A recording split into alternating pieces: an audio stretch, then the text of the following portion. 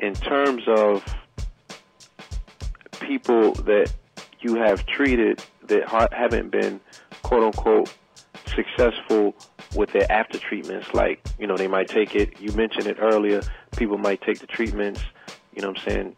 Some might get better and then fall back into their wayward ways and uh, transition.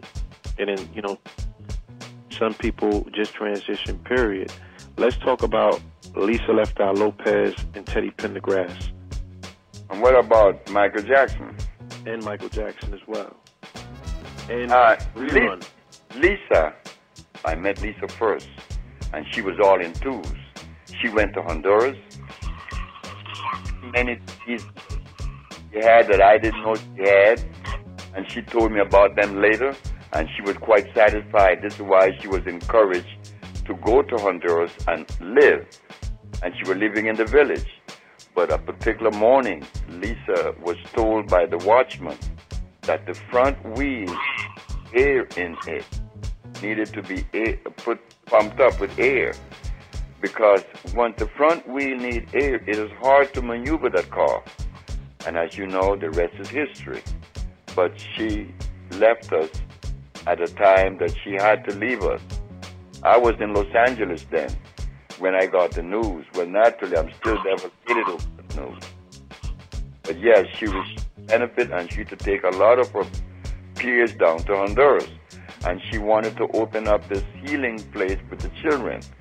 She wanted to open a, a place where children would go and learn the trades. But no one seemed to be paying any attention to that now. It's dead. The idea is dead. And I don't know what's going to happen. About Teddy Pendergrass, Teddy, when I met him, he couldn't move anything from his neck down. At three months later, everything was moving, even pain under his feet. He refused to pay me. He said, I'm not going to pay you. But he paid Deepak Chopra big bucks.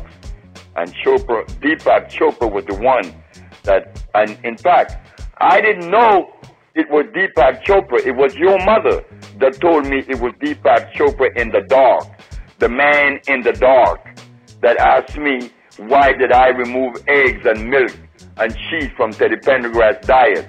And Deepak Chopra was against that.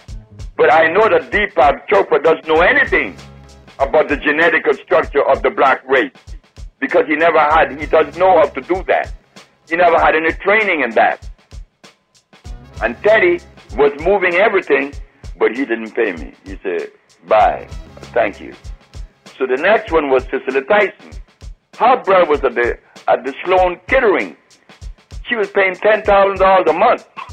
And he was in pain and couldn't sleep for six months. Brought him to me. Four days later, he was sleeping. And he was no longer in pain, but she didn't pay me.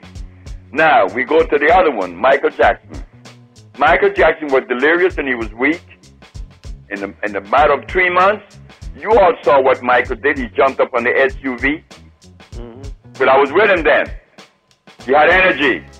He was doing it.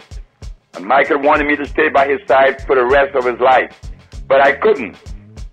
Because the people around Michael didn't like me. And I knew that. And furthermore, Michael was doing well. And six months later, Michael was doing as well as you want anyone to do.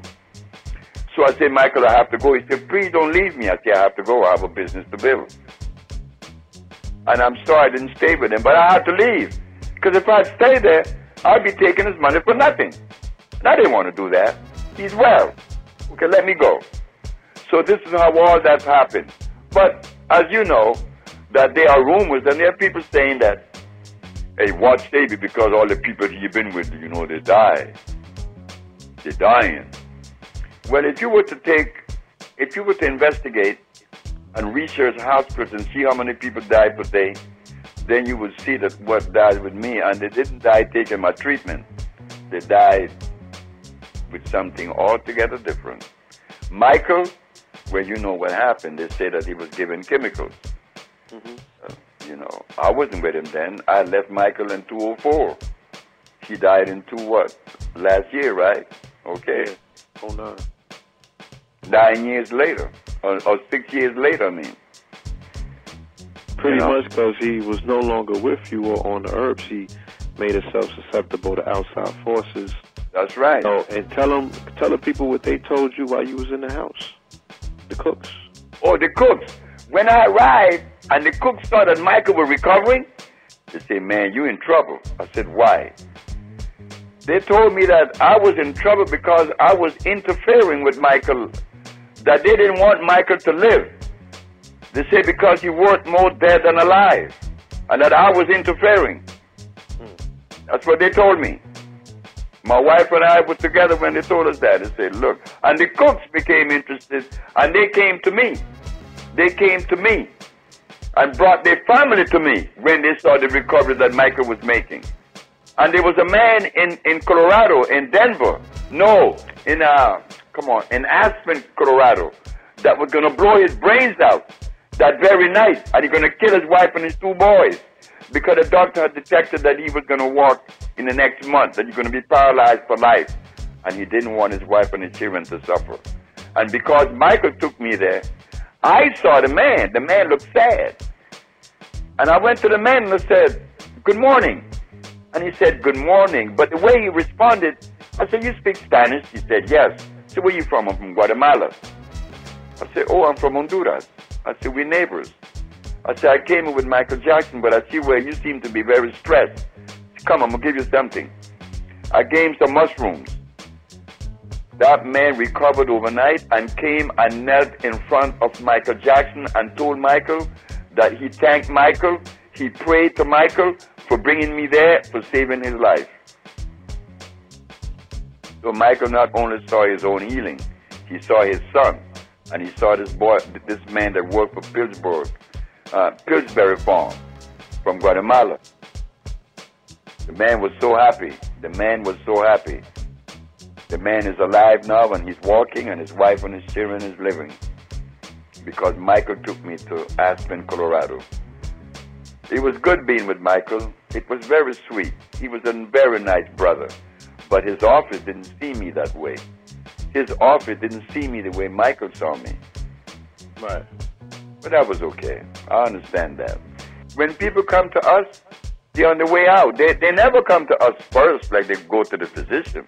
After they have exhausted all of their finance and the body has taken on a deeper, you know, stress with the disease, then they come to me and I'm supposed to work against all those odds. But it does occur, it does happen. We have had people to come to us where their breast was rotting off. I mean, rotten off. And when we put the poultices on her on her breast, the whole a new breast was coming back in two months with a nipple on it. A brand new breast. So you see, there will be people who would pass on and transcend, depending on when they come to us, you know. Right. But we have to respond.